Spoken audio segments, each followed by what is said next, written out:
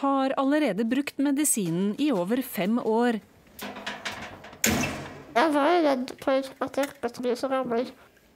Det har gjort at jeg kan leve med styr. Ikke at sykdommen styrer meg. Linnea, snart 18 år, på vei hjem fra videregående skole.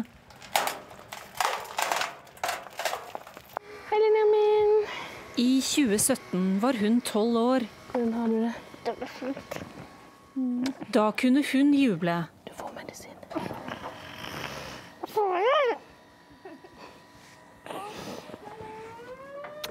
ikke det bra?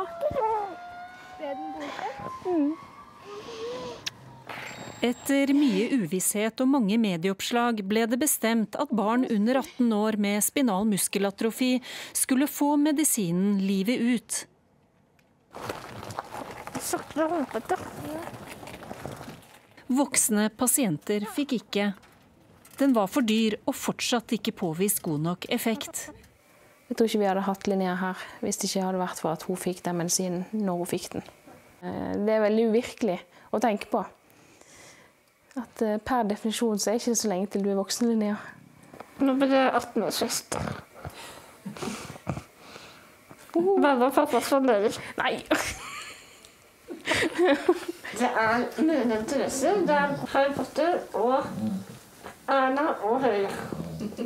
Engasjert og aktiv, Linnea er leder av Unge Høyre på Øvre Romerike. Jeg syns det er veldig bra at det akkurat som Unge Høyre tør å satse på meg såpass som de gjør. da. Sende meg på talerstolen og sende meg på talentprogram.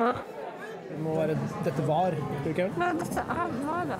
På kafé i Oslo og forbereder seg til et viktig møte. Kan ta medisin nå. Ta pengene her. Ja. Reisekittet. Mm, Ja, selve medisinen, da. Medisinen må tas hver dag til samme tidspunkt gjennom en sondeknapp i magen. Hun er rundt en av 150 spinal muskelatrofi-pasienter i Norge.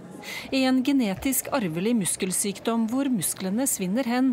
Før var pasientgruppa mye mindre, men nå som barna får livreddende medisin, vokser de opp og pasientgruppa blir større.